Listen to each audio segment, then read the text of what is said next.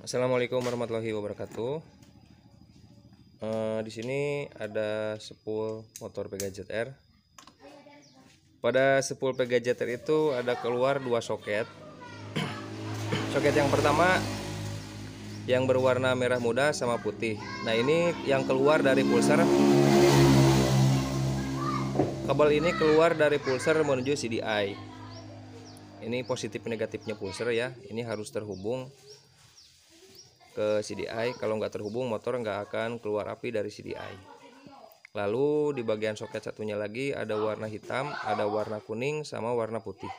Nah yang, yang warna hitam sendiri ini adalah masa dari spool yang menuju ke masa body atau diparalelkan juga ke masa aki ya. Ini intinya untuk masa body untuk masa body dari spool lalu yang kuningnya itu uh, yang keluar dari spool lampu sepuluh lampu utama. Yang nantinya ini yang warna kuning ini masuk ke kiprok lalu diparalel ke lampu utama atau lampu depan.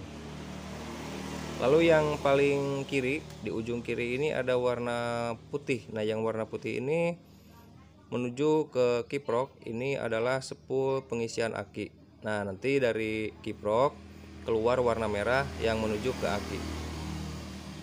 Dan untuk pengecekan setrum buat teman-teman yang mau melakukan pengecekan setrum dari sepul ya yang mau melakukan pengecekan baik sepul lampu yang ini yang kuning ataupun sepul pengisian cara mengeceknya itu harus dalam kondisi si soketnya ini terhubung ke soket ke kabel body karena kalau dicabut seperti ini kita engkol-engkol untuk biasanya kan disambung kabel ya dipercik-percik ke body ini enggak akan keluar api kalau si soketnya ini nggak disambungkan ke kabel body atau disambungkan ke bagian body motor. Oke demikian uh, penjelasan singkat untuk uh, rangkaian sepul pada motor Pega ZR mudah-mudahan bermanfaat buat teman-teman pemula khususnya. Sampai jumpa di video berikutnya. Assalamualaikum warahmatullahi wabarakatuh